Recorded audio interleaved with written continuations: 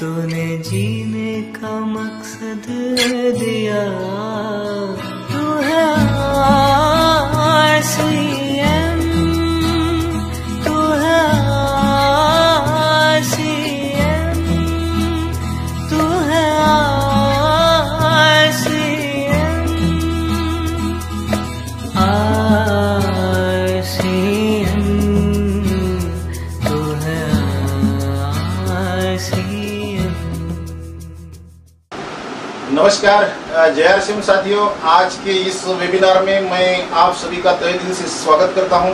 और सबसे पहले, आज इस वेबिनार के लिए आर सिम बिज़नेस और यूनिक एजुकेशन वर्ल्ड ने जो मुझे मौका दिया, इसके लिए मैं उनका भी तहे दिल से शुक्रिया अदा करना चाहता हूँ। और जितने भी साथी लाइव इस वेबिनार को देख रहे हैं, सभी सो सभी को मैं ये गारंटी दिलाता हूँ, बिल्कुल अंत तक बने रहिए। आज का जो ये दिन है, आपके जीवन का बहुत ही इम्पोर्टेंट दिन साबित हो सकता है। मैं ये गारंटी के साथ बोलता हूँ। तो साथियों, बिना किसी प्रकार का समय गंवाते हुए सीधा मैं टॉपिक के ऊपर आता हूँ। मैं आप सभी को बताऊँ, बिल्कुल छोटा सा टॉपिक है अपना। इसमें मैं मेरे बारे में थोड़ा सा आपको बताऊँगा। और उसके बाद में हम बात करेंगे आरसीएम के प्रोडक्ट के बारे में, जिससे हमें क्या फ़ायदा होता है। उसके बाद बात करेंगे आरसीएम है क्या? और उसके बाद हम बात करेंगे आरसीएम क्यों करना है। और लास्ट में हम बात करेंगे इसको कैसे किया जाता है। बिल्कुल सिंपल सिंपल टॉपिक और मेरा ये दावा है, आज जो भी साथी इस वेबिनार को अंत तक देखेगा, बिल्कुल आरसीएम को लेके जितनी भी भ्रांतियाँ उनके अंदर बनी है, वो सारी भ्रांतियाँ खत्म हो सकती है और आज से अपने जीवन का एक नया, नई विनिंग विनिंग वो शुरू कर सकता है साथियों। तो चलो, हो जाइए तैयार। माई सेल्फ मैं संतोष चौहान, मैं महाराष्ट्र, नांदेड़ डिस्ट्रिक्ट माहूर तालुका, उसमें मेरा छोटा सा गाँव है, नाम है अनमाल। बिल्कुल पहाड़ों में बसा हुआ गाँव है अगल बगल पहाड़ियाँ हैं, आज भी उस गाँव में अच्छे रास्ते नहीं हैं और कई सारे लोग उस गाँव में रिश्ता करना पसंद नहीं करते, इसलिए ताकि बिल्कुल जंगल में है और रास्ते की कोई सुविधा नहीं है। तो ऐसे गाँव में मेरा जन्म हुआ और मैं आपको बताऊँ, बिल्कुल मजदूरी और खेती करने वाले घर में मेरा जन्म हुआ। मैं आपको बताऊँ कि बचपन में जब मैं, मेरा जन्म हुआ तो मेरे माँ बाप ने मुझे सिर्फ़ जन्म दिया। लेकिन मेरी माँ बाप की वो हैसियत नहीं थी और जीवन में कुछ ट्रेजिडी होने के कारण मैं बचपन से लेके मेरे नाना नानी के पास रहा नाना नानी के पास रहने से नाना नानी ने मेरा पालन पोषण किया और उन्हीं के साथ रहते हुए, उन्हीं के खेत में मैंने काम किया, मजदूरी की। बचपन से लेके मजदूरी की मुझे खेत के सारे काम आते हैं। मैं आपको बताऊँ, जब मुझे स्कूल में डाला गया, मुझे अच्छे से याद है, मैं जब से स्कूल में गया, तब से काम करता रहा। मेरा डेली रूटीन ये हुआ करता था, सवेरे में उठता था उठने के बाद मैं खेत में जाता था, खेत के काम करता था, वापस घर में आता था और तैयारी करके मैं स्कूल जाता था। चार बजे तक हमारी स्कूल हुआ करती थी। चार बजे जब स्कूल छूटती तो मैं वापस खेत में जाता। मैंने खेत के वो सारे काम किए, मुझे वो सब काम आते, बुआई से लेके, हल चलाने से लेके, वो सारे काम मैंने किए हैं। इतना ही नहीं तो दूसरों की खेती में जाके मैंने मजदूरी की। इतना ही नहीं तो साथियों, मैंने फॉरेस्ट के जो प्लांटेशन होते, उसमें जाके मैंने काम किया। नाला बंडिंग का मैंने काम किया। तो ये सब करते करते मैंने पढ़ाई भी की और बहुत गरीबी को हमने नज़दीक से देखा। मैं, मेरे नानी नाना के पास रहता था। मेरी नानी जब तक मजदूरी से नहीं जाती थी, तब तक हमारा शाम का खाना ठीक से नहीं हो सकता था। इससे आप लोग अनुमान लगा सकते हैं। और मैं जिस एरिया में रहता हूँ, जिस एरिया में मेरा जन्म हुआ, बिल्कुल अगल बगल सब गरीब लोग, मजदूरी करने वाले लोग हैं। और कोई पढ़ाई का उतना कोई इम्पोर्टेंट नहीं, लेकिन शुक्रिया अदा करना चाहूँगा मेरे नाना नानी का। बहुत बहुत वो मेरे लिए भगवान है, गॉड है। उन्होंने इतनी विपरीत परिस्थिति में भी मुझे पढ़ाया, मुझे स्कूल में दाखिल किया और काम करते करते मैंने मेरी पढ़ाई को पूरा किया।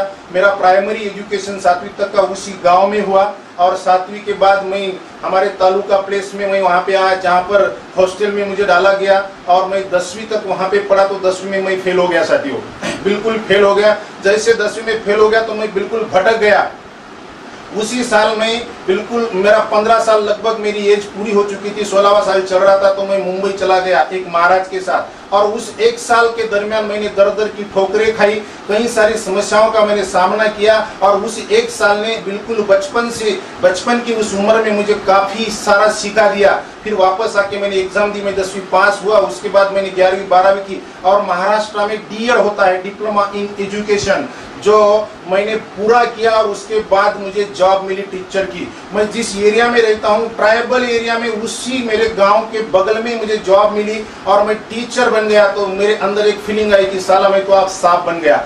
और बिल्कुल आ, बिल्कुल एक्साइटेड था। आ, बड़े बड़े सपने थे। और उसके बाद में मैंने शादी किया और मैंने देखा वास्तव ज़िंदगी के बारे में तो कुछ अलग ही ज़िंदगी थी। मैंने मेरे गाँव से तालुके में आके एक प्लॉट लिया, घर बनाया, लेकिन लोन लेके, मैंने कोई लोन नहीं छोड़ा, मैंने पत संस्था का लोन लिया, मैंने बैंक का लोन लिया, और इतने से भी नहीं हुआ तो मैंने प्राइवेट भी लोन लिया। तो प्राइवेट लोन लेके मैंने घर बनाया, और थोड़ा सा मेरे गाँव में मैंने खेती भी ली। तो ये सब करते वक्त मैं बिल्कुल कर्जे में, कर्जों के दलदल में बिल्कुल पूरी तरह से डूब चुका था। मैंने बाइक ली, वो भी कर्जे में ली, और ऐसी स्थिति आ गई थी साथियों कभी कभी जब बाहर निकलना पड़े जॉब को जाना पड़े तो बाइक में डालने के लिए, पेट्रोल के लिए भी पैसे नहीं हुआ करते थे। तो ऐसी स्थिति थी, लेकिन दिखावे वाली हम लोग ज़िंदगी जीते थे। मैं जब जॉब को लग गया तो मैं जिस गाँव में रहता था, मेरे जो बचपन के दोस्त थे तो मैं उनको मेरे साथ कंपेयर करता था। वो बिल्कुल खाली थे, मजदूरी करते थे। मुझे लगता था कि मैं बड़ा साहब हूँ। और मैंने दिखावे की ज़िंदगी को ज़्यादा जीना पसंद किया। और दिखावे दिखावे में पूरी तरह से हम कर्जे में डूब गए थे। शादी हो गई, बच्चे हो गई, खर्चे बढ़ गए। और खर्चे बढ़ गए तो उस ऐसी परिस्थिति में हम कर्जे में होने के कारण, मान लो एक आध बार कोई अलग सा खर्चा अगर हम कर दे तो उस महीने का पूरा बजट बिगड़ जाता था। तो इससे आप लोग अनुमान लगा सकते हैं। लेकिन साथ में जॉब के कारण ईगो भी डेवलप हो चुका था मैं किसी की बात सुनना पसंद नहीं करता था। तो ऐसे में ही, देखिए, ऊपर वाले की मर्ज़ी, ऊपर वाले की मर्ज़ी, ऐसी ही परिस्थिति में एक मेरा दोस्त जो ड्राइविंग करता था, जिसके साथ मेरी जान पहचान की अचानक एक दिन मेरे घर वो आते हैं और कुछ प्रोडक्ट लेके आते हैं और मेरे को बोलते कि, सर, ये प्रोडक्ट मैंने आपके लिए लाए हैं। तो उसके तरफ़ देख के मैंने सोचा, इसको कोई काम नहीं है बिल्कुल खाली पीली है, सातवीं पड़ा है, और काम न होने के कारण कुछ प्रोडक्ट अगर मेरे को दे देता है तो कुछ मार्जिन इसको मिल जाएगी। प्रोडक्ट लेने की बिल्कुल इच्छा नहीं थी, लेकिन मैं उसको मना भी नहीं कर सकता था। इसलिए मना नहीं कर सकता था, क्यों तो वो ये ना समझ ले कि इसके पास पैसे नहीं है, क्यों तो मैं दिखावे वाली ज़िंदगी जी रहा था। तो इसलिए वो ये ना कह करके मैंने उससे कुछ प्रोडक्ट लिए। मेरे को आज भी याद है, मैंने तीन प्रोडक्ट उससे लिए। एक खाने का ऑयल के दो पाउच लिया मैंने, दो लीटर के। उसके बाद में पेस्ट और एक साबुन ली नहाने की। तो वो प्रोडक्ट लिया, वो चला गया। उसके बाद मैं प्रोडक्ट यूज़ करता रहा। मैं आपको बताऊँ जैसे जैसे प्रोडक्ट यूज़ किया, मुझे एसिडिटी को लेके भारी भारी प्रॉब्लम थी। मैं अगर तुअर की दाल खा लूँ, मसालेदार पदार्थ अगर कोई खा लूँ तो बिल्कुल छाती में जलन होती थी, बहुत तकलीफ़ होती थी। जैसे वो तेल मैंने खाया तो मुझे एसिडिटी को लेके बहुत फ़ायदा हुआ, बहुत अच्छा फील हुआ। तो जैसे तेल खत्म हुआ तो दोबारा मैंने उसको फ़ोन किया। और फ़ोन करने के बाद आप लोग सोच रहे होंगे कि मैंने उसको धन्यवाद दिया। बिल्कुल नहीं। बिल्कुल रुबाबदार तरीके से मैंने उसको फ़ोन किया। अरे, तू अगर इधर आ रहा है ना तो कुछ तेल के दो पाउच लेके आ दो पाउच, मैंने बिल्कुल दो पॉकेट की बात की। वो बड़ा होशियार था। वो जब आया ना तो दो पॉकेट लेके नहीं, वो पाँच लीटर की कैन लेके आया। और मैंने उसको बोला, तेरे को तो दो लीटर के पाउच मैंने बोले थे। ये पाँच लीटर की क्यों लाया? तो सर बोले, वहाँ पे एक लीटर में अवेलेबल था ही नहीं तो बिल्कुल पाँच लीटर की ले आया। तो मैंने ले लिया। दोबारा उसने वही पेस्ट मेरे को दिया, दोबारा वही साबुन मेरे को दिया, क्यों तो ये पहले मैंने प्रोडक्ट यूज़ कर लिए थे और फिर उसने अपने थैली से एक नया प्रोडक्ट निकाला और वो प्रोडक्ट था चाय का पॉकेट और मेरे को बोलता कि, सर, ये प्रोडक्ट आपके लिए मैं लाया हूँ। अब जब मैंने उसके पहले तीन प्रोडक्ट यूज़ कर लिए, मुझे पसंद आए तो मैं चौथे प्रोडक्ट के बारे में क्यों सोचू? मैंने वो चाय का पॉकेट भी ले लिया। और उसके बाद में वो रुका नहीं। फिर से उसने अपने थैली में हाथ डाला और एक प्रोडक्ट निकाला। वो प्रोडक्ट ये था न्यूट्री चार्ज ये, और ये प्रोडक्ट निकालते हुए उसने मेरे को कहा, सर, बोले, मैंने आपके लिए गोली लाई है। जैसे उसने गोली की बात की तो मेरे अंदर गोले आने लगे। मैं गोली खाना पसंद नहीं करता था। गोली को लेके बिल्कुल कई तरह के विचार मेरे मन में थे कि गोली खाने से साइड इफ़ेक्ट होते हैं। जैसे उसने गोली का नाम निकाला, मैंने बोला, गोली नको गोली भी नहीं मेरे को इसकी कोई आवश्यकता नहीं, मैं बिल्कुल तंदुरुस्त हूँ। तो उसने बोला, सर, बोले, वो गोली नहीं, ये न्यूट्रिशन है। मैं न्यूट्रिशन के बारे में ज़्यादा जानता नहीं था। लेकिन न्यूट्रिशन है बोले, मैं बोला, कुछ भी हो मेरे को नहीं चाहिए। बोले, ये पोषक तत्व है। कौन से भी तत्व हो मेरे को गोली नहीं होना। तो फिर वो शायद ये ठान के आया था कि कुछ भी हो जाए, इसको एक तो देके ही जाना है। तो बातों बातों में उसने एक बात की, अगर कोई ये गोली खाता है तो इससे आदमी थकता नहीं है। जैसे उसने थकता नहीं ये बात बोली तो बात मेरे पकड़ में आ गई। क्यों आ गई? क्यों तो मैं थकता था। मैं जहाँ रहता था, वहाँ से मेरा जो जॉब का गाँव था, वो 35 किलोमीटर दूर था 35 किलोमीटर जाना 35 किलोमीटर आना, इसमें मैं थक जाता था। रात में जब घर आता तो बच्चे से बात करना भी मुझे अच्छा फील नहीं होता था। बिल्कुल चिड़चिड़ापन आता था। तो जैसे उसने थकता नहीं ये बात की तो वो बात मेरे पकड़ में आ गई। और मैंने बिना सोचे उससे वो गोली लेनी लेकिन उसको कहा कि आप कोई प्रोडक्ट मत निकाल। और मैं आपको गारंटी से और सच्चे दिल से बता रहा हूँ, साथियों, तब से लेके आज तक ये गोली मैं खाता हूँ। बिल्कुल थकना मना है, थकना मना है। आप भी इसको ले सकते हैं और इसका अनुभव ले सकते हैं। ये बात हो गई प्रोडक्ट तो मैं लेता रहा, लेकिन उसके बाद अचानक मैं उसी के गाँव गया, पुसद, यहाँ से लगभग 50 किलोमीटर दूर है, और उसी के गाँव में मेरे दोस्त के साले की शादी के लिए गया था धूप काले का दिन था। मुझे अच्छे से याद है, जून 2014 का वो समय था।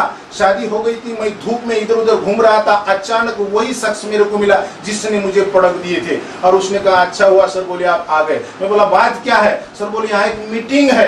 अब जैसे उसने मीटिंग का, मीटिंग में जाने की तो मेरी बिल्कुल इच्छा नहीं थी, लेकिन अब धूप का दिन था। अगर मीटिंग है तो मीटिंग छाव में ही होगी। यही सोच के छाव में बैठने को मिलता है, सोच के मैं मीटिंग में चला गया। और मीटिंग में गिन चुन के छह लोग थे। और मीटिंग करने के लिए हरियाणा से पानीपत हरियाणा से एक व्यक्ति आया वाला था और वो मीटिंग करने के लिए बिल्कुल खड़ा हो गया, उसने अपना इंट्रोडक्शन दिया तो वो पेशे से डॉक्टर था। मैंने सोचा डॉक्टर यानी मेरे से तो ज़्यादा पढ़ा लिखा है, मेरे से क्वालिफाइड है और इतनी दूर से जब आया है तो कुछ ना कुछ होगा। मैंने थोड़ा सा ध्यान दे उसकी बातों को सुना। देखिए साथियों मीटिंग में मैं गया। अब मैं इसमें से एक मैसेज आपको दूँ। अगर उसने मुझे पहले प्रोडक्ट नहीं दिए होते तो मैं मीटिंग में नहीं जाता। पहले प्रोडक्ट लिया प्रोडक्ट से मैं संतुष्ट था और बाद में चलो, कोई बात नहीं, छाव में बैठने को मिलता इसलिए मैं मीटिंग में गया और मीटिंग में जाने से मेरी तकदीर चमक गई। उसी मीटिंग ने मेरी पूरी जीवन को बदल दिया। तो वो जो हस्ती मीटिंग के लिए आई थी, मुझे अच्छे से याद है वो मीटिंग डॉक्टर राजेंद्र सोनी जो पानीपत हरियाणा के थे, उन्होंने मैंने मेरे जीवन में कुछ ऐसे नए, नई बातें उनसे मैं सुना, जिसमें से एक बात उन्होंने कही कि अमीर लोग नेटवर्क बनाते हैं और गरीब लोग नौकरी ढूंढते हैं। जी हाँ नौकरी ढूंढते हैं। तो ये मैं पहली बार सुन रहा था। जैसे मैंने ये सुना तो मेरे अंदर थोड़ी सी चुभन सी हुई क्योंकि तो मैं नौकरी करने वाला था।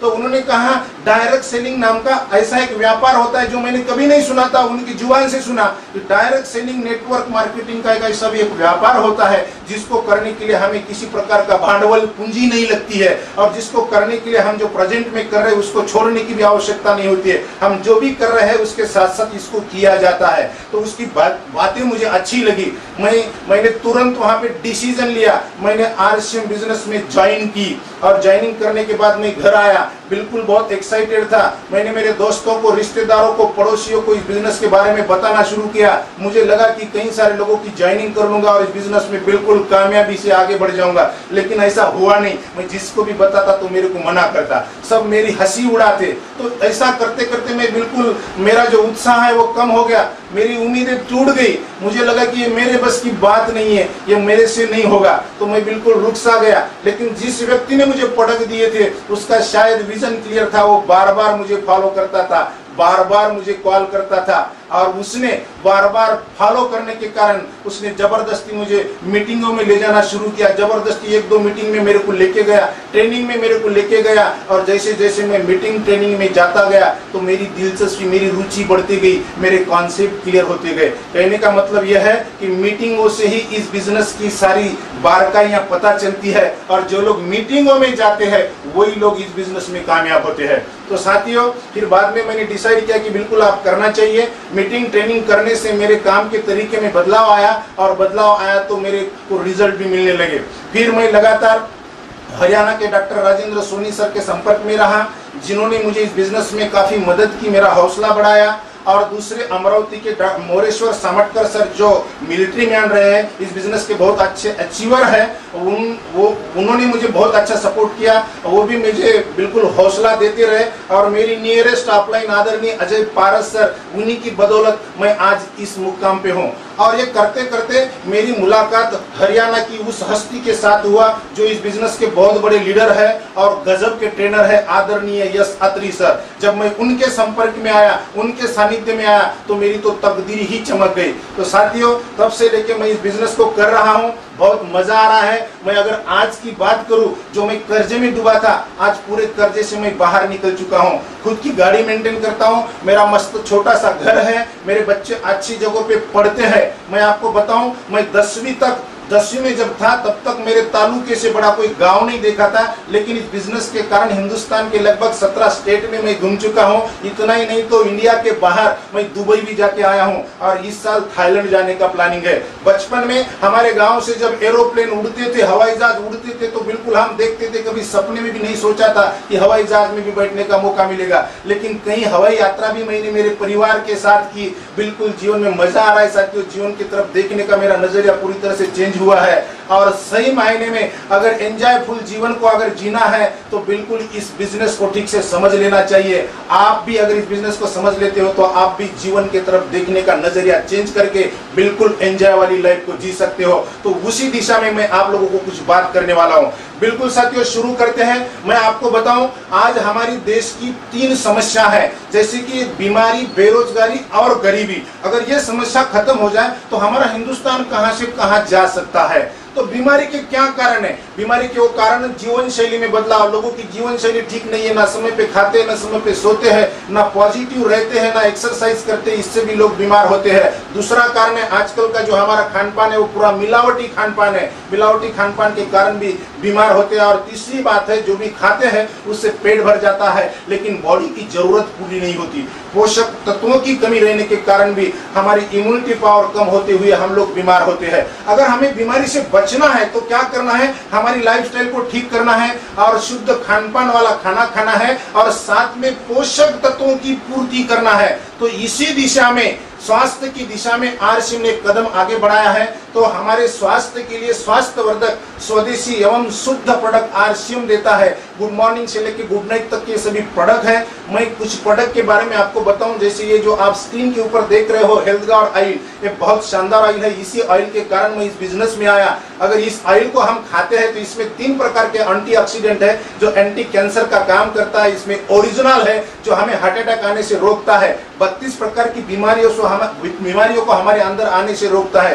बीपी शुगर जैसी जो बीमारियाँ होती है, जो पीढ़ी दर पीढ़ी अगले पीढ़ी में ट्रांसफ़र होती है, उसको अगले पीढ़ी में ट्रांसफ़र होने से रोकता है। एसिडिटी गैसेस कितनी भी पुरानी हो, महीना, सवा महीने में ऑयल आपको बिल्कुल नॉर्मल कर देता है। गजब का ऑयल है, शानदार ऑयल है, और इस ऑयल को की ये विशेषता होने के कारण हिंदुस्तानी गवर्नमेंट ने इस ऑयल को चार चार बार नेशनल अवार्ड दिया है। हाल ही में इस ऑयल को एशिया का टॉप क्वालिटी ब्रांड अवार्ड भी मिला है। और इसके साथ साथ हमें शुद्धता के लिए ये कुछ घरेलू प्रोडक्ट है जो हम इस्तेमाल करते हैं तो मिलावट के खतरे से बच सकते हैं। मिलावट से होने वाली बीमारियों से बच सकते हैं। ये वो चाय है, दिन में कितनी भी बार पी लो, इससे एसिडिटी नहीं होगी गैसेस नहीं होगा। ये वो सब घर में इस्तेमाल में आने वाले वो प्रोडक्ट है, जो बिल्कुल हमें बिल्कुल हमें स्वास्थ्य की दिशा में हमारे बॉडी को अच्छा रखने के लिए मदद कर सकते हैं। और मैं इस प्रोडक्ट के बारे में आपको बताऊँ, ये वो गुड डॉट का प्रोडक्ट है साथियों।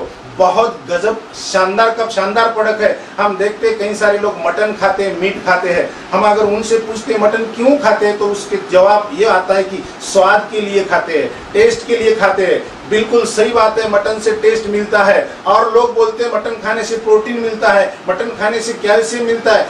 जी हाँ बिल्कुल मिलता है, लेकिन क्या आपको पता है, मटन खाने से बॉडी फैट भी मिलता है, मटन खाने से कोलेस्ट्रॉल भी मिलता है, जिससे हार्ट अटैक भी आ सकता है कैंसर भी हो सकता है। बिल्कुल हो सकता है, साथियों।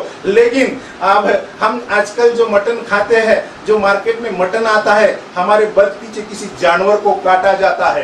तो उसकी आहट की बात तो अलग, लेकिन बच पीछे जो जानवर को काटा जाता है, वो मरा हुआ है, सड़ा हुआ है, या किसी बीमारी वाला है, हम नहीं जानते, हम उसके मटन को खा लेते हैं। और कई तरह की खतरनाक खतरनाक बीमारियाँ इसके कारण हो रही है। आयोडीन वायरस भी इसी की देन है। तो उसी दिशा में अब बात स्वाद की आती है तो जो प्रोडक्ट स्किन के ऊपर आप देख रहे हो, ये गुड डॉट का बिल्कुल वेजिटेरियन प्रोडक्ट है। ये वेज बाइट्स है। ये मटन नहीं है। ये वनस्पति के फलों, फूलों से बना है। जब इसको हम खाएँगे तो इसका टेस्ट मटन के जैसा है। प्रोटीन की बात अगर करें तो इसमें प्रोटीन मटन से ज़्यादा है, कैल्शियम मटन से ज़्यादा है और इसमें उचित मात्रा में फाइबर होने के कारण ये आसानी से डाइजेस्ट हो जाता है। मटन तीन तीन दिन तक डाइजेस्ट नहीं होता है। तो इसमें कई प्रकार के प्रोडक्ट है। सूप है, पुलाव है, बिरयानी है, प्रोटीज है। तो ये वो प्रोडक्ट हम मटन की जगह इस्तेमाल कर सकते हैं, जिससे बिल्कुल हमारे बॉडी की फ़ायदा ही हो सकता है।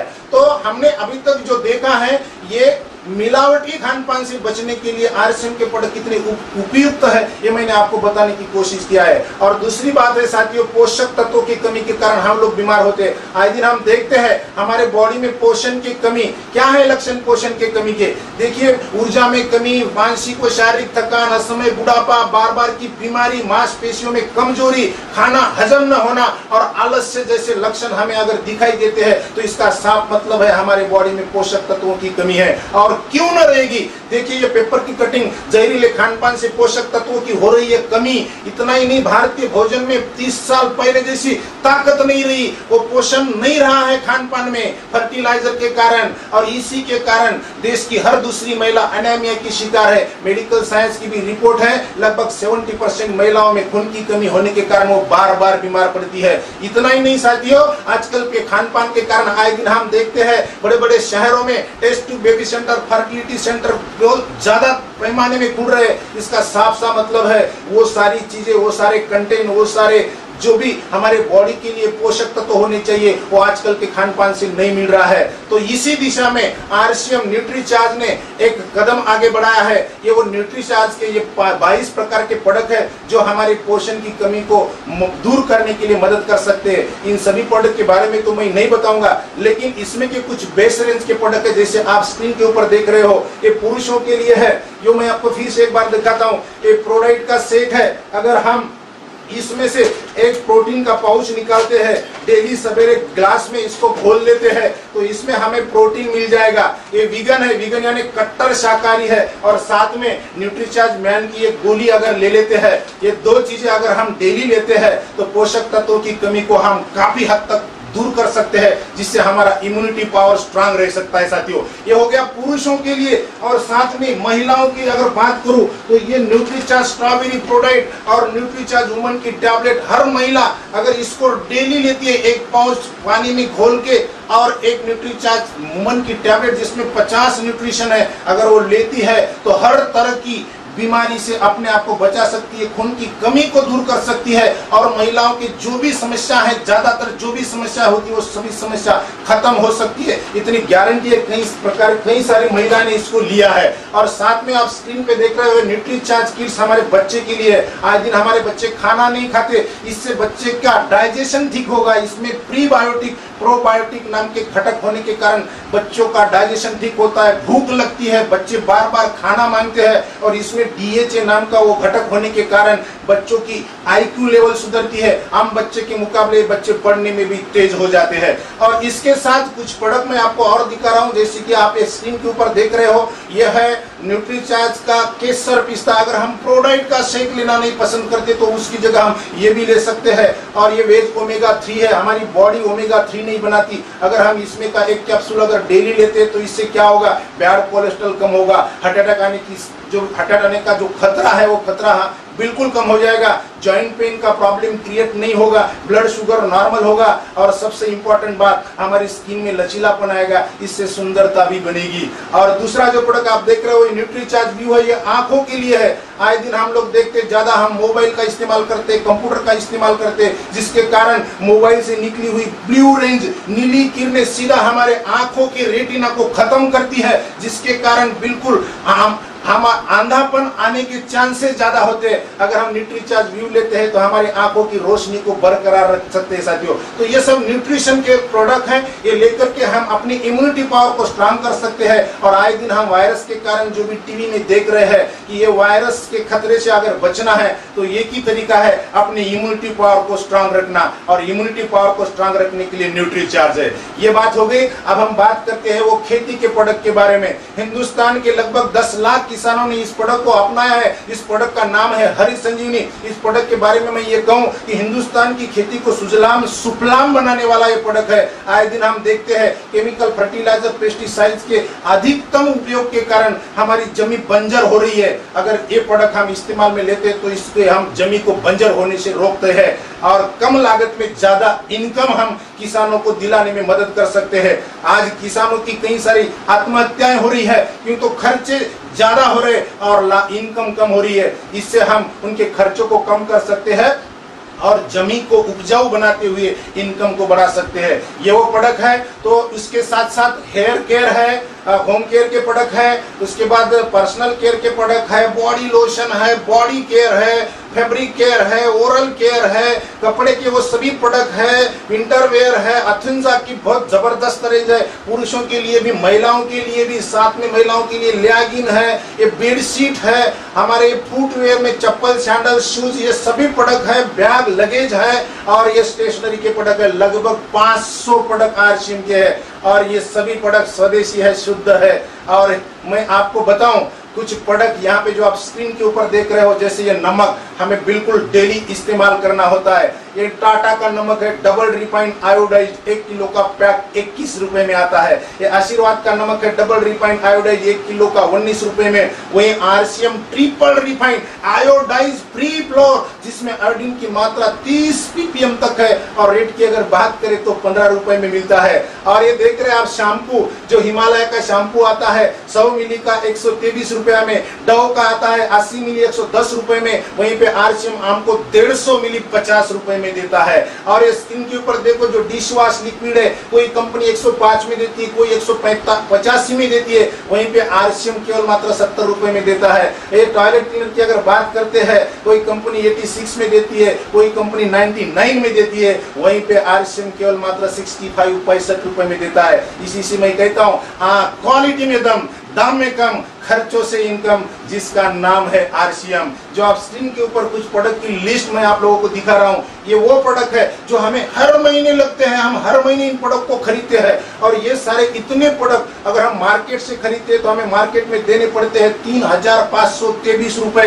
और यही इतने ही प्रोडक्ट अगर हम आरसीएम से लेते हैं तो हमें मिलते हैं दो हज़ार चार सौ बयासी में, यानी लगभग एक हज़ार रुपए की बचत हो जाती है। और साथियों, आए दिन बचत करना बहुत ज़रूरी है। तो ये वो सारे प्रोडक्ट के बारे में मैंने बताया। तो आरसीएम के प्रोडक्ट हमें क्या देते हैं? आरसीएम के प्रोडक्ट हमें स्वास्थ्य देते हैं, आरसीएम के प्रोडक्ट हमें बचत देते हैं, हमें पोषण देते हैं, न्यूट्रिशन की कमी को दूर करते हैं। और सबसे खास बात, आरसीएम के प्रोडक्ट हमें एक बिग बिज़नेस अपॉर्चुनिटी भी देते हैं, जिसकी अब हम लोग बात करने वाले हैं। तो बिज़नेस की जब बात आती है तो हम आप बात करेंगे आरसीएम की। आरसीएम क्या है? देखिए आरसीएम क्या है, इसको समझने से पहले हमें मार्केट को समझना होगा, ट्रेडिशनल बिज़नेस को, परंपरागत व्यापार को समझना होगा वो इस तरह का होता है जिसमें हम लोग ग्राहक होते हैं मिल यानी कंपनी प्रोडक्ट बनाती है, हम कस्टमर उस प्रोडक्ट को इस्तेमाल करते हैं, लेकिन कंपनी और हमारे बीच में कई प्रकार के लोग होते हैं, जिसको हम रिटेलर होलसेलर एजेंट कहते हैं, और जो भी कंपनी प्रोडक्ट बनाती है, उसका बहुत ज़्यादा एडवर्टाइज करती है, और बहुत ज़्यादा पैसा एडवर्टाइज वाले लेके चले जाते क्या होता है साथियों, कंपनी से अगर कोई प्रोडक्ट सौ रुपए का बाहर निकलता है तो इन बिचौलिए के ज़रिए हम तक आते आते एडवर्टाइज वाले को कई सारा पैसा दे के हम तक आते आते वो सौ का प्रोडक्ट 200 का हो जाता है, यानी 50 परसेंट पैसा बीच में चला जाता है, सौ रुपए बीच में चले जाते हैं। अगर हम इस रास्ते से एक हज़ार का सामान खरीदते हैं तो बीच में 500 चले जाएँगे, दस हज़ार का खरीदते तो पाँच हज़ार चले जाएँगे, एक लाख का खरीदते तो पचास हज़ार चले जाएँगे। आज तक हमने, हमारे पिताजी ने, हमारे दादाजी ने लाखों करोड़ों का सामान इस रास्ते से खरीदा, इसका साफ़ मतलब है, लाखों करोड़ रुपए हमारे बीचोलिए में चले गए साथियों। अभी बदलना होगा, खरीदारी का तरीका चेंज करना होगा। वो ये तरीका है जिसको कहते हैं डायरेक्ट सेलिंग मेथड और आरसीएम डायरेक्ट सेलिंग है डायरेक्ट सेलिंग मेथड है। आरसीएम राइट कंसेप्ट मार्केटिंग खरीदारी का नया तरीका है। बिल्कुल कंपनी टू कंज्यूमर सिस्टम सीधा कंपनी से सामान लेना है और बीच में जाने वाला जो पैसा होता है, वो पैसा हमारा है, वो हमें मिलता है। लेना चाहिए बिल्कुल लेना चाहिए। उसके लिए हमें ये आर सिम का डायरेक्ट सेलर कार्ड बनाना होता है, जो बिल्कुल फ्री में बनता है, जिसको हम ज्वाइनिंग भी कह सकते हैं। पूरे इंडिया में आर सिम के लगभग दस हज़ार से ज़्यादा दुकानें हैं। जब हम आरसीएम का डायरेक्ट सेलर कार्ड बनाते हैं, उसके लिए कुछ नहीं photo bank passbook Aadhaar card PAN card देना होता है ऑनलाइन फिलिंग करनी होती है, एक नंबर आता है, उस नंबर के ऊपर ऑल ओवर इंडिया के आरसीएम के किसी भी शॉप से हम जब भी खरीदारी करते हैं तो हमें पाँच से लेके बीस प्रतिशत डिस्काउंट मिलता है, दस से लेके बत्तीस परसेंट बिज़नेस वैल्यू के ऊपर हमें कमीशन मिलता है, और पक्का बिल मिलता है। सबसे इंपॉर्टेंट बात है, पक्के बिल का मतलब होता है नो डुप्लीकेसी मिलावट से हम बच सकते हैं, और पक्के बिल का दूसरा मतलब होता होता है टैक्स क्रेडिट जिससे हमारे देश की इकोनॉमी को ग्रो करने के लिए हम लोग मदद करते हैं। और चौथा बेनिफिट है, सभी प्रोडक्ट की thirty days money back guarantee अगर प्रोडक्ट पसंद नहीं आता है within thirty days product को हम वापस करके पैसा ले सकते हैं या उसके बदले दूसरा कोई प्रोडक्ट ले सकते हैं। ये बेनिफिट तो हर कोई लेगा, लेकिन हम बात करेंगे साथियों बिज़नेस की।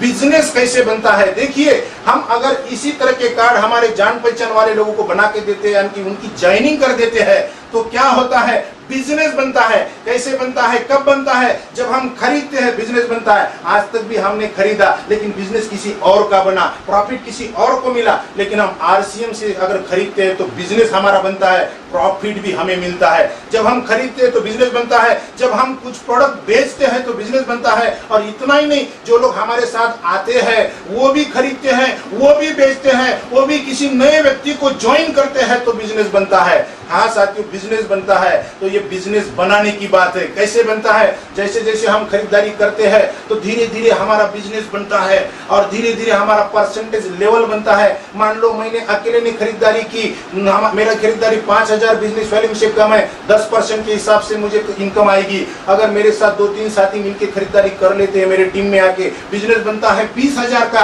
तो साढ़े सोलह परसेंट के हिसाब से लगभग मुझे दो हज़ार की इनकम आएगी। इसी तरह से अगर सौ, डेढ़ सौ लोग मेरे साथ आते हैं, खरीदारी करते हैं बिज़नेस बनता है, तीन लाख पचास हज़ार तो बत्तीस परसेंट के हिसाब से मुझे इनकम आती है। और इसी तरह से ये बत्तीस परसेंट परफॉर्मेंस बोनस होता है एट परसेंट रॉयल्टी होती है।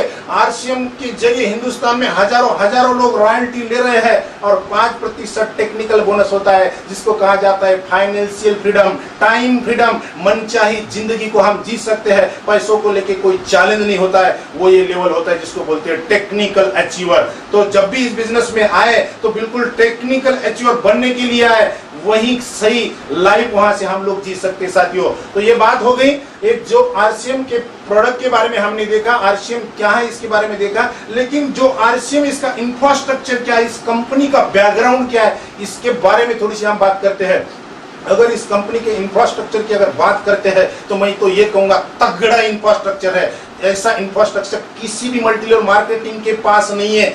देखिए 500 से ज़्यादा दैनिक उपयोगी प्रोडक्ट है। पूरे हिंदुस्तान में 120 120 से ज़्यादा डिपो है और 10000 से ज़्यादा पिकअप सेंटर है, जिसको हम वंडर वर्ड वंडर क्यूब कहते हैं जिसको हम दुकान भी कह सकते हैं। दस हज़ार से ज़्यादा दुकानें हैं और आरसीएम वंडर वर्ड जहाँ कंपनी के प्रोडक्ट बनते हैं, जहाँ कंपनी का हेड ऑफ़िस है, उसके बारे में आपको बताऊँ, ये आरसीएम वंडर वर्ड है 17 लाख स्क्वायर फीट में फैला हुआ है।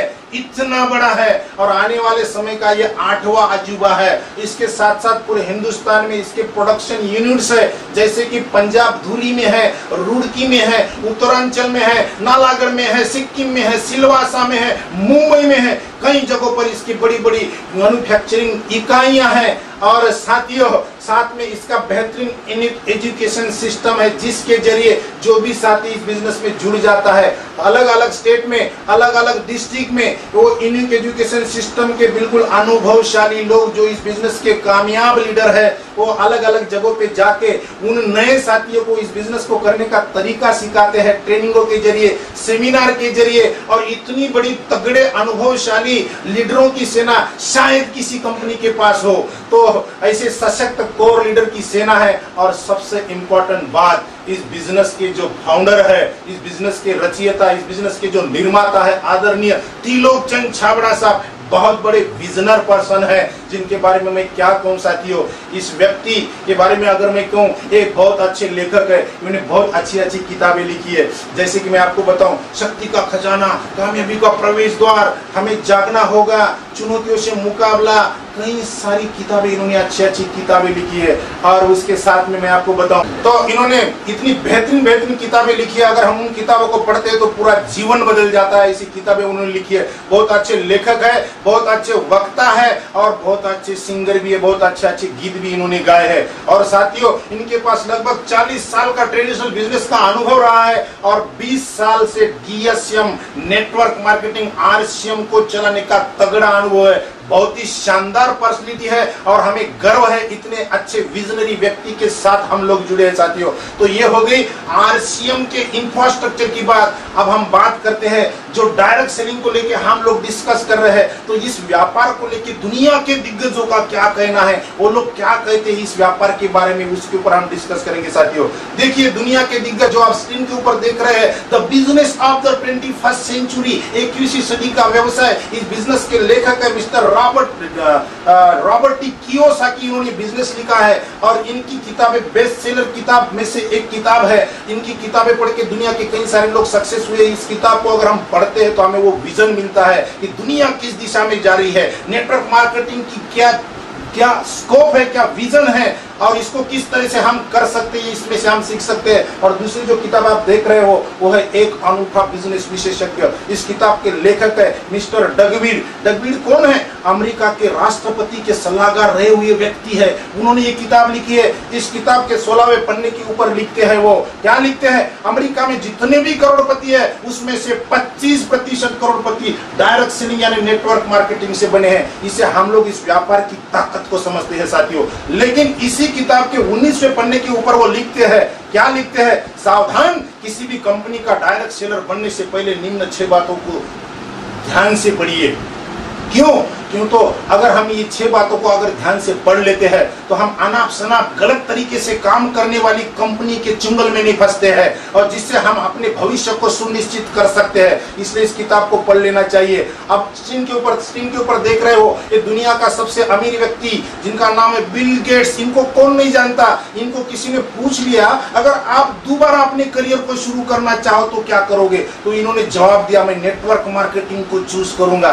देखिए, दुनिया सबसे अमीर व्यक्ति नेटवर्क मार्केटिंग को चूज़ करने की बात करता है और हमारा पड़ोसी नेटवर्क मार्केटिंग की जब हम बात करते हैं तो हँसी उड़ाता है। इससे आप अनुमान लगा सकते हो। ये अमेरिका सुपर पावर का प्रेसिडेंट डोनाल्ड ट्रंप भी वही कहता है और आए दिन हमारे हिंदुस्तान के बड़े बड़े कारपोरेट जगत के ट्रेनर भी नेटवर्क मार्केटिंग का उज्जवल भविष्य हिंदुस्तान में है। ये बातें करते हैं साथियों। इसलिए हमें बिल्कुल ये आगाज़ है, हमें समझ लेना चाहिए। अगर नेटवर्क मार्केटिंग अमेरिका में जब इतने सारे लोग करोड़पति हुए हैं, इसका कारण है अमेरिका में लगभग 1959 से व्यापार शुरू हुआ है। और इंडिया की अगर बात करते तो 1990 में ये व्यापार हमारे हिंदुस्तान में शुरू हुआ, लेकिन गवर्नमेंट की कोई पॉलिसी न होने के कारण, कोई रूल रेगुलेशन न होने के कारण कई सारी कंपनियों ने अनाप शनाप तरीके से ये काम किया। कई सारे लोग इस बिज़नेस, इस नेटवर्क मार्केटिंग के नाम से ठगे हैं, जिससे है ना गलत गलत धारणाएँ लोगों ने बनाए रखी है। लेकिन साथियों, मैं आपको बताऊँ 9 सितंबर 2016 को भारत सरकार ने इस व्यापार को गाइडलाइन दी है।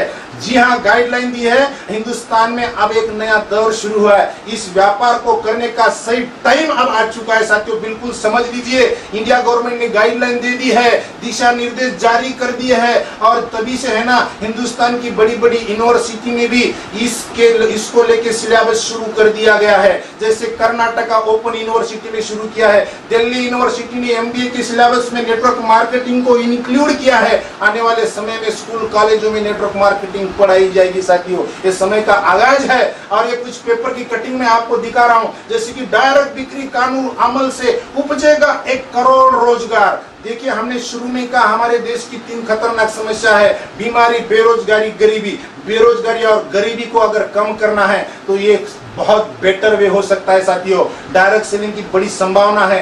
दुनिया में सबसे ज़्यादा अगर एम्प्लॉयमेंट देने का पोटेंशियल किसी में है तो वो नेटवर्क मार्केटिंग में है और आरसीएम नेटवर्क मार्केटिंग है, इसी को डायरेक्ट सेलिंग भी कहा जाता है, इसी को मल्टीलेवल मार्केटिंग भी कहा जाता है। तो ये सारी बातें तो हमने देख ली फिर भी क्यों करना है आरसीएम क्यों करना है? इस क्यों को क्लियर करना है? उसके लिए मैं आपको बताऊँ, अभी जो परिस्थिति बनी है ना कोरोना के कारण, करोड़ों लोग बेरोजगार हुए हैं। करोड़ों लोग बेरोजगार हो सकते हैं। बिल्कुल कोई इसके बारे में आगे क्या होगा, थोड़ा भी अनुमान नहीं लगा सकता साथियों। तो बहुत भयावह परिस्थिति बन सकती है। इसके कारण गरीबी भी बढ़ सकती है। ये मैं नहीं कह रहा हूँ, ये संयुक्त राष्ट्र की रिपोर्ट है। देखिए, भारत में 40 करोड़ रोज़गार पर खतरा बढ़ सकता है। ये संयुक्त राष्ट्र की रिपोर्ट है। कई लोग नौकरी से हाथ धो बैठे हैं, कई लोगों की नौकरी जाने की संभावना है। और इसी इसी समय, इसी परिस्थिति में ये वॉरेन बफे जो दुनिया के बहुत अच्छे वक्ता, बहुत अच्छे लेखक है, ये इनकी एक कोटेशन है, हम लोगों को बहुत अच्छे से सिखा सकती है। वो बोलते हैं, यदि आपकी सैलरी आपका एकलौता इनकम स्रोत है तो आप गरीबी से केवल एक कदम दूर है। बिल्कुल देखिए साथियों, ये हमें सिखाने वाली, सीखने वाली बात है। तो इसी दिशा में हमारे देश की जो सरकारें हैं, वो भी डायरेक्ट सेलिंग से उम्मीदें लगाना शुरू कर दिया है उन्होंने। जैसे कि पिछले महीने 10 मई को हमारे देश के प्रधानमंत्री ने लोकल टू होकल की बात की। यानी स्वदेशी वस्तु को यूज़ करो और स्वदेशी वस्तुओं का घर से प्रचार करो, ये बात उन्होंने कही। और आरसीएम यही करता है, स्वदेशी वस्तु को प्रचार का काम करता है। और साथियों पिछले महीने के 27 तारीख को 27 मई को हमारे देश के वित्त राज्य मंत्री अनुराग ठाकुर जी का जो बयान है, अगर आपने देखा है तो बिल्कुल नहीं देखा है तो देख लेना।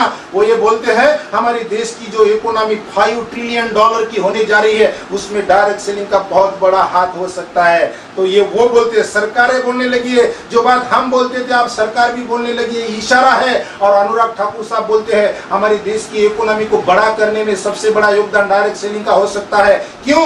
क्यों तो डायरेक्ट सेलिंग में हम लोग पक्के बिल के साथ सामान खरीदते हैं, जिससे सीधा टीडीएस गवर्नमेंट के खजाने में जाता है। हमारी इकोनॉमी को ग्रो करने के लिए काफ़ी हद तक मदद हो सकती है साथियों। तो ये आने वाले समय का उभरता हुआ बिज़नेस है, समय का आगाज़ है, नौकरी है नहीं बिज़नेस के तरीके बदल चुके हैं। और पूंजी लगा के भी अगर हम कोई बिज़नेस करने की सोच रहे हैं तो चलेगा, इसकी कोई गारंटी नहीं है, दुनिया भर की कंपटीशन है। तरीका बदल चुका है साथियों, लेकिन खाली समय का सदुपयोग करते हुए हम आरसीएम को कर सकते हैं।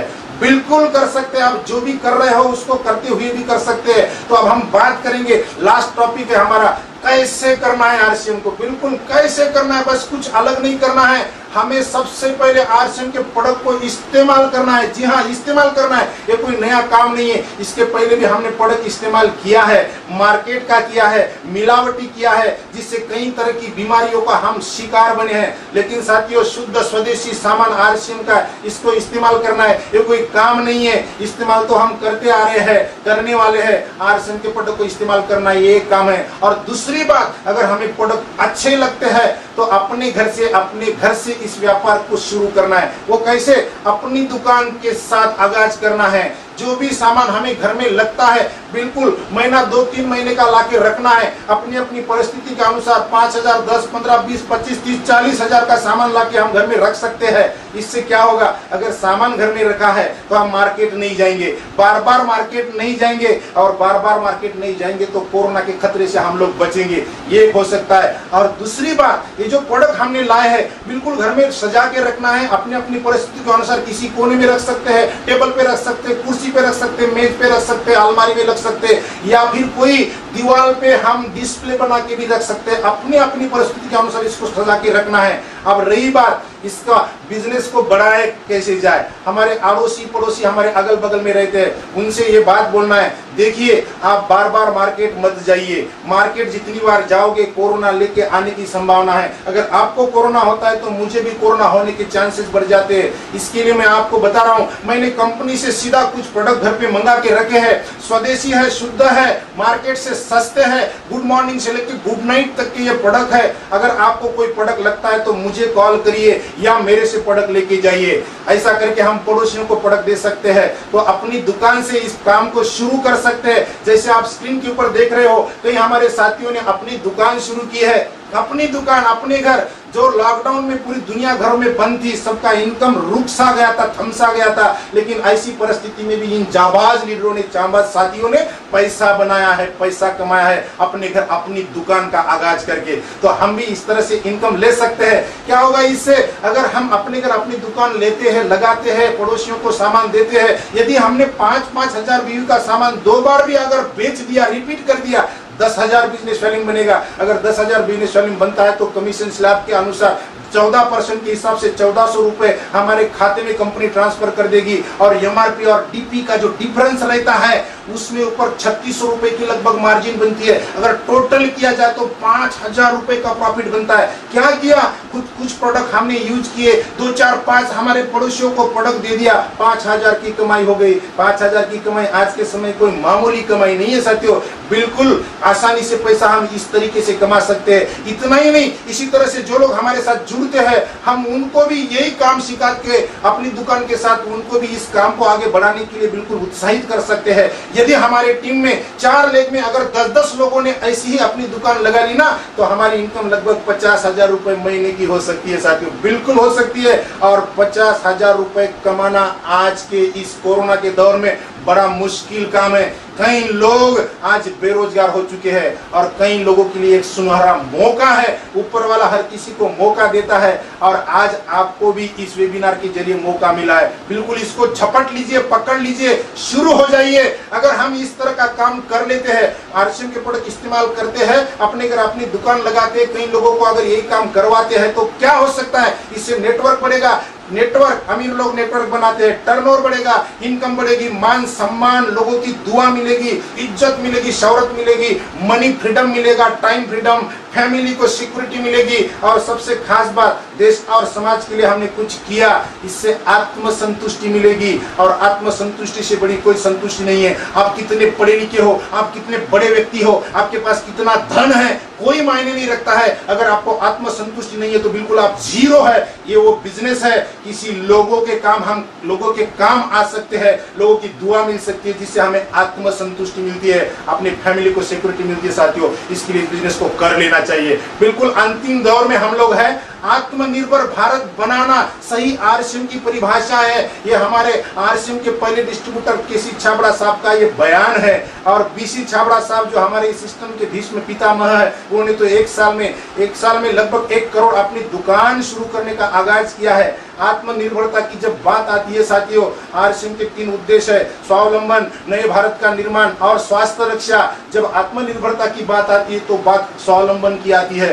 तो हम अगर इस तरह से प्रोडक्ट यूज़ करके अपनी दुकान से काम शुरू करते हैं तो हम खुद आत्मनिर्भर बनते हैं। कई लोगों को हम आत्मनिर्भर बना सकते हैं। बस आज की बात को मैं खत्म करने वाला हूँ। खत्म करने से पहले मैं आप सभी को ये कहूँ, मैंने सारी बातें आपके सामने रख दी है। मैंने पूरी कोशिश की है कि हर वो नया व्यक्ति इसको ठीक से समझे और इसको शुरू करें, ये अपॉर्चुनिटी है। ऊपर वाले ने आपको दिया हुआ तोहफा है। जिस व्यक्ति ने आप तक ये वीडियो की लिंक भेजी है, बिल्कुल धन्यवाद दीजिए उसको।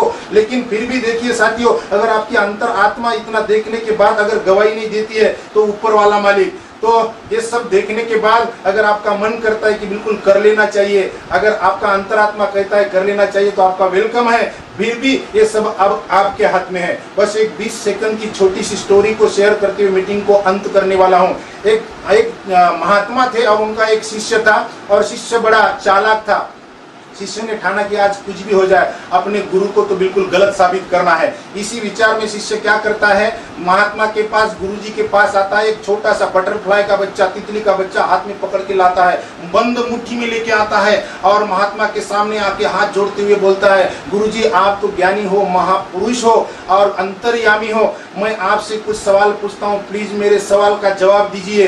गुरु जी बोलते, बताइए तो वो शिष्य बोलता है, मेरे हाथ में तितली का बच्चा है। हाँ है है, तितली का बच्चा है। तो आप मुझे बताइए, ये तितली का बच्चा ज़िंदा है या मुर्दा है? तो गुरुजी मुस्कुराते हुए बोलते हैं, बेटा, ये तो आपके हाथ में है।